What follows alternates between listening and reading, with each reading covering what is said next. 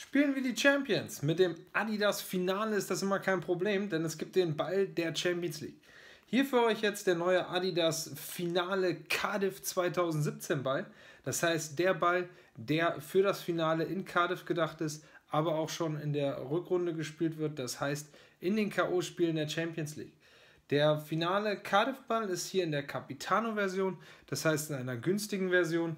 Der trägt das neue Design, des Champions League Endspielballes und hat ansonsten eine maschinelle, gleichmäßig gezogene Naht, eine weiche Soft-Touch-Oberfläche und ist somit ein idealer Trend-, Freizeit- und Trainingsball, den man eigentlich in jeder Altersklasse im Seniorenbereich A, B und C-Jugend verwenden kann.